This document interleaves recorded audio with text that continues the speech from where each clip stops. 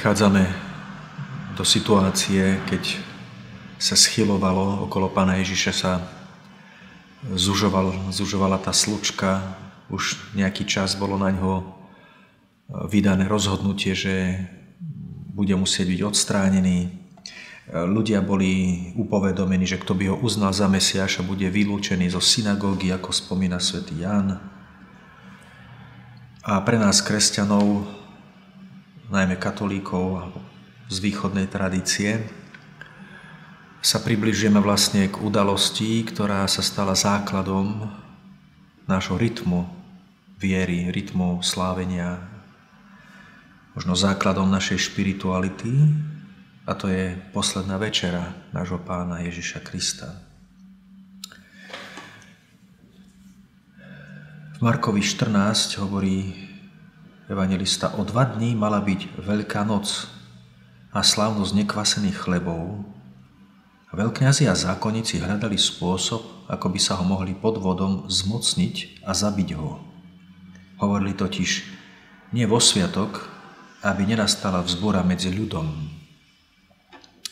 Aspoň si krátko pripomenieme slovo Veľká noc. Bol to ústredný sviatok Izraela, ktorý úzko súvisil, úzko súvisel e, s vyslobodením z Egypta, keď boli, vlastne sa žili istý čas, niekoľko generácií v Egypte, stali sa tam postupne otrokmi. A v, v situácii, v čase a spôsobom cez Mojžiša tento ľud bol zázračne vyslobodený spod jarma egyptianov a táto noc, toto vyslobodenie sa bolo nazvané Veľkou nocou. V túto Veľkú noc bol vlastne jedený konzumovaný baránok a tento baránok sa potom stal vlastne aj takým prostriedkom neskôr na slávenie tejto Veľkej noci v rodinách. A tento baránok, jeho krvou boli potreté veraje dverí, ktoré vlastne uchránili Izrael pred nejakým nadprirodzeným, nadprirodzeným e, zásahom, ktorý oslabil Egypt zhub, e, zhub, akoby zahubením prvorodených. A toto sa hovorí v starom zákone. Čiže e, keď, keď my ako kresťania počujeme slovo, že hľa baránok Boží, tak Ježiš alebo evangelisti naražajú na tohto baránka. To znamená baránok, ktorý, ktorý bol, ktorého krv zachránila Izrael. A Pán Ježiš potom seba nazýva, že je tým baránkom a preto aj v tej poslednej večeri sa nejakým spôsobom pretransformováva táto židovská pamiatka Veľkej noci na niečo úplne nové, čo kedysi slúžilo ako predobraz, tak teraz sa stáva zrazu realitou tým, že Boží syn sa stáva tým skutočným baránkom, ktorý nás vykúpil. Čiže o dva dní mala byť Veľká noc, a slavnosť nekvasených chlebov a tak ďalej. Potom hovorí evangelista, že keď bol Pán Ježiš v Betánii v dome Šimona Malomocného, prišla žena, ktorá rozbila drahú vzácnú alabastrovú nádobu s drahou vzácnou masťou a vyliala túto masť alebo olej na Ježišovú hlavu, ktorý, ktorá znamenala istý symbol, bolo to také prorocké vyjadrenie. Na jednej strane sa pomazávali králi, a na druhej strane Ježiš povedal, že to slúži na jeho pohreb, akoby taký symbol. Že toto bola taká zvláštna, zvláštna vec a e, hovorí sa tam aj dokonca to, že je to aj v iných, iných, iných prípadoch evanelí, že Judáš mal výhrady voči tomu, že to bola trahá maza, že škoda to mohlo byť, že sa to mohlo predať a mohlo sa za to odkúpiť niečo chudobných v úvodzovkách. A Pán Ježiš hovorí vtedy, že chudobných budete mať vždy medzi sebou, ale mňa nebudete mať vždy a vlastne e, ukazuje tu pozornosť na význam, významnú chvíľu jeho života a význam jeho osoby. A potom sa zastavíme, keď sa hovorí, že v 10. verši Judáš Iškariotsky, jeden z dvanástich, odišiel k veľkňazom, aby ho zradil keď ho počuli, zaradovali sa, slúbili mu dať peniaze, hľadal teda vhodnú príležitosť, ako by ho zradil. Ten náš výraz, ktorý je už taký terminus technicus na označenie výnimočnej postavy, jedinečnej postavy a to Judáša Iškariotského, ktorého stále spomína Evangelium už od začiatku, že vlastne on stal, stal zradcom Ježiša spomedzi tých dvanástich. Len ten terminus technicus vlastne zároveň slúži na, jedna, jednak na označenie tejto špecifickej osoby a na druhej strane sa to stáva akýmsi takým handlivým označením Lenže v skutočnosti e, Jud, Judáš nebol Judášom, ale bol Jú, Júdom, alebo gre, gréčne sa povie Júdas. E, čiže e, keď si odmyslíme to jeho, to jeho poslanie, ktoré naplnil tu jeho zlé srdce alebo nesprávne nastavené srdce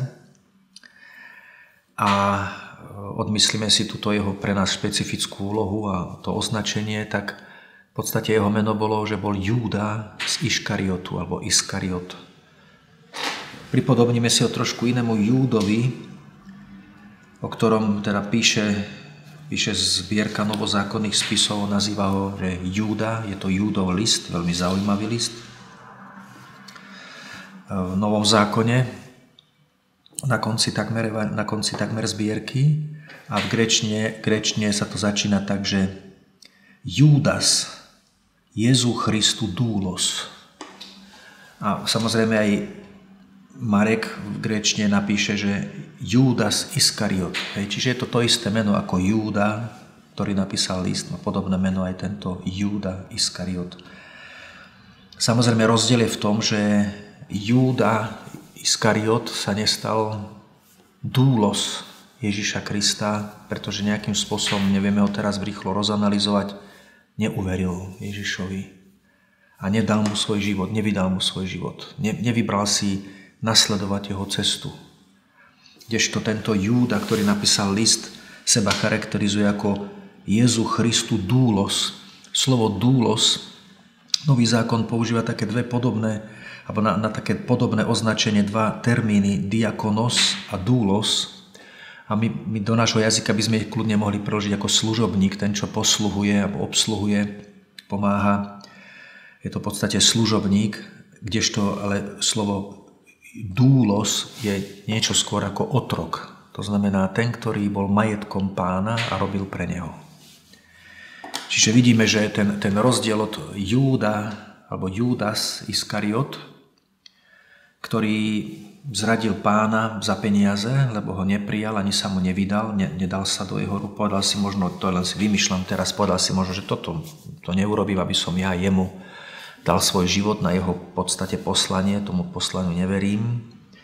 Kdežto prípad Júdu, Júdas, ktorý napísal list, tak on sebe hovorí, že je dúlos, Ježišov otrok, to znamená, že Ježiš ho má akoby vo vlastníctve, on dal svoj život pánovi a stal sa jeho služobníkom v našom preklade povedané.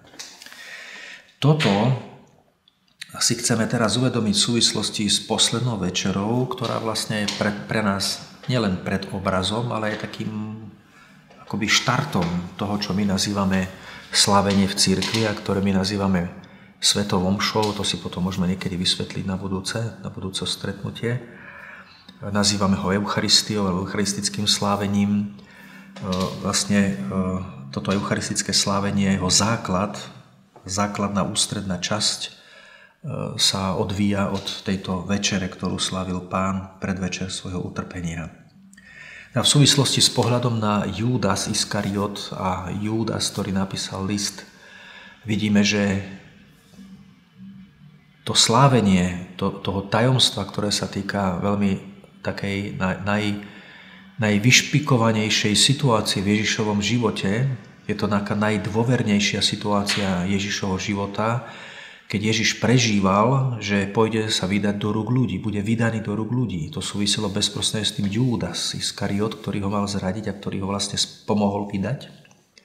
A Ježiš sa nebránil tomu. Čiže v tej najchúlostivejšej chvíli pre Ježiša pravdepodobne najzlomovejšej, najzlomovejšom okamihu, ktorom ešte mohol veci mať vo vlastných rukách, nejako ich moderovať, potom už sa vydal. Títo, ktorí ho zatkli, už potom nakladali s Ježišom, ako oni chceli. Tak v tejto atmosfére najdôvernejšej situácie života Ježiša a zároveň najťažšej, o ktorej už neprišlo nič viac za tým, len to Ježišovo vydanie a to, že už jeho život moderovali tí, ktorí ho zatkli, zajali až na kríž, tak v tomto prostredí, v tejto atmosfére Ježiš slávil túto večeru veľkonočnú so svojimi učeníkmi.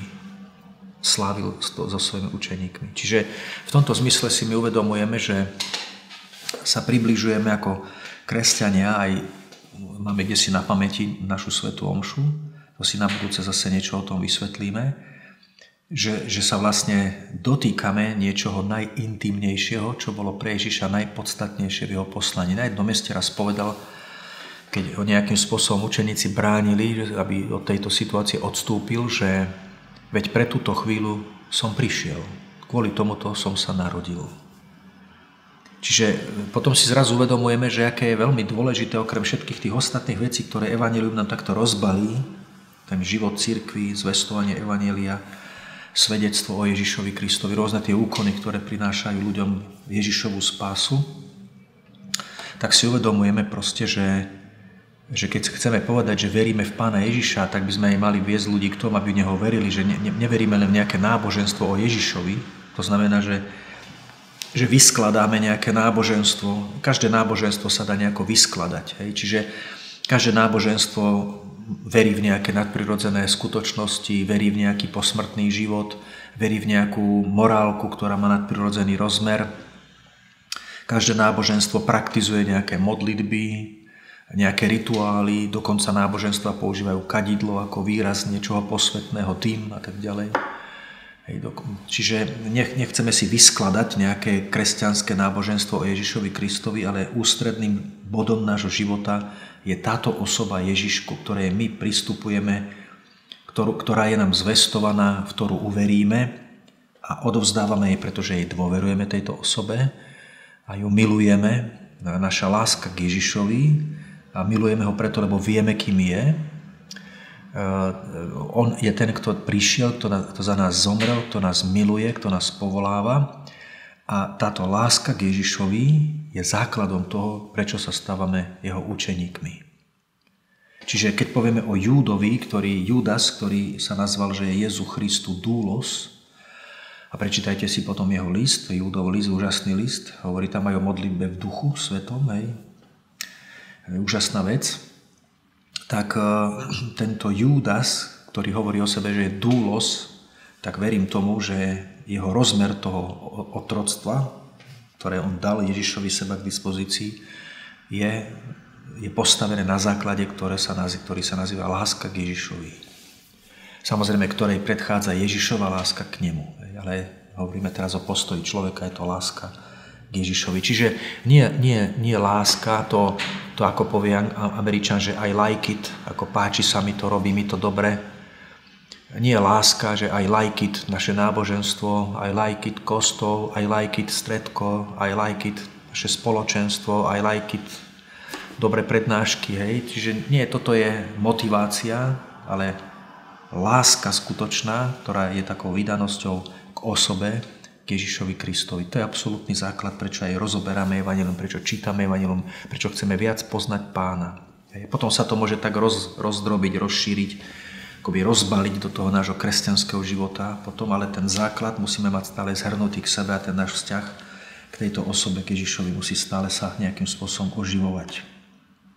K tomu chcem len pripomenúť, že prax prvotnej církvy, alebo už druhotnej, niektorí autori tak nazývajú, že second church, ako druhotná církev, niekedy používame slovo, že prvotná církev, alebo stará, stará církev, alebo ranná církev, to sa myslí skôr církev apoštolskej doby, tak potom je taká církev, ktorá okolo roku 200, 250, je niekde až do roku 313, skoro 400, keď už sa církev menila tým milánskym ediktom a začala byť štátnym verejným náboženstvom, ktoré začalo budovať svoju štruktúru verejne viditeľnú, tak e, hovorí sa jej Second Church, tak e, vtedy ešte bola církev prenasledovaná, bola nelegálna, bol to čas mučeníkov, vyznávačov, hej, e, apologétov, treba hej, tak v, tej, v tomto čase my vieme veľmi dobre, napríklad vieme to z katakomb,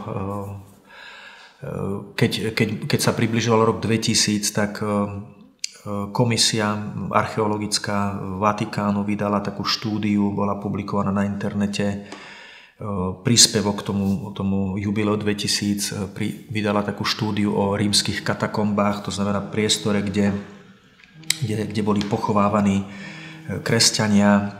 Katakomby boli na území, ktoré bolo vo vlastníctve miestnej cirkvi ako pozemok a tam sa v zemi hlbili tie, tie pohrebné, tie pohrebné e, e, priestory, kubikula, kde dávali mučeníkov, tak tam sa, tam sa objavili aj rôzne prvé také fresky nám známe, a z tých fresiek oni analyzovali, že aká bola viera, podstata viery tých ľudí v tej dobe, ktorí v tých katakombách pochovávali svojich mŕtvych a sa tam aj stretávali na tých hrobami a pravdepodobnosť, s vysokou pravdepodobnosťou aj e, je doložené, že praktizovali tam slavenie Eucharistie a zhromaždenia, tak oni skonštatovali, že z toho, čo tam je vidieť na, na zobrazeniach, tak ich viera bola veľmi zameraná na nadprirodzený život Ježišovi Kristovi, na Božie kráľovstvo, na nadprirodzený život – a v tomto pozemskom živote veľmi silne sústredené na krst a slávenie Eucharistie. Na tieto dve, na tieto dve, dve sviatosti, ktoré je logické, lebo ich stále tieto dve sviatosti veľmi silne e, vyvolávali túto spojitosť s tým nadprirodzeným životom, ktorý dáva Ježiš Kristus.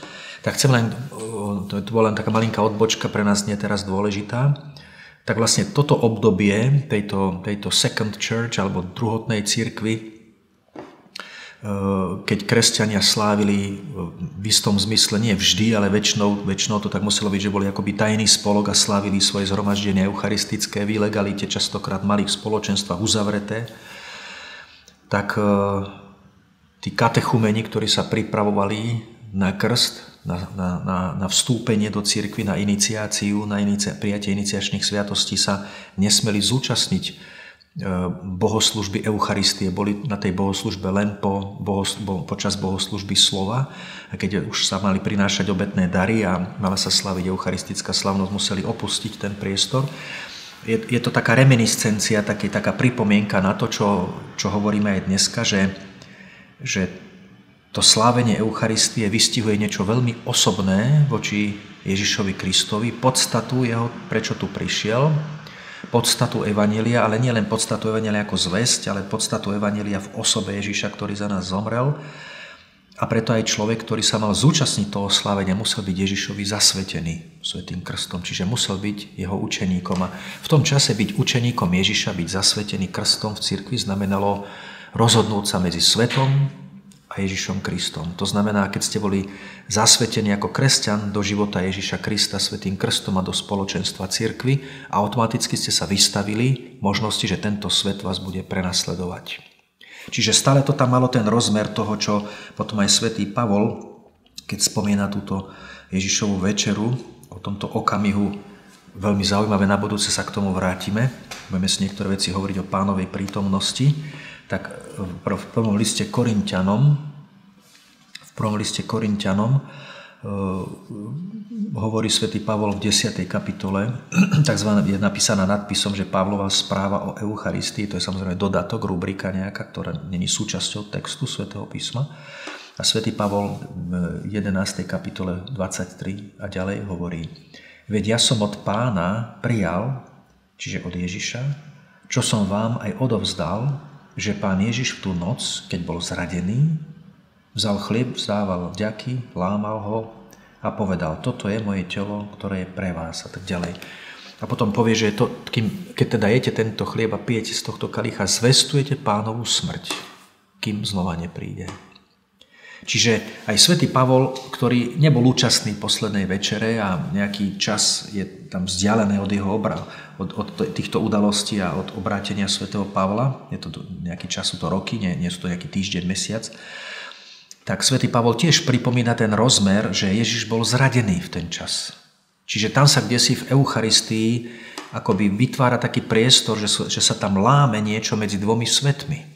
To znamená Eucharistia, posledná večera a Eucharistia, slavenie Eucharistie e, je niečo, kde by sa malo lámať to, že, že človek sa musí zasvetiť Kristovi. A tým pádom sa stáva zrazu zraniteľný voči tomu, že sa stáva cudzincom pre tento svet, ktorý ho môže zradiť, ktorý ho môže nenávidieť, ktorý môže prenasledovať a pritom tomuto svetu ale má samozrejme to evanelium zvestovať vo všetkej láske, citlivosti, rozumnosti, e, tak ako zaznieva v Novom zákone pre kresťanov, že kresťania majú byť príkladom pre ostatných aj voči plne, čo sa týka plnenia povinnosti ako občania a tak ďalej, sa to objavuje v listoch.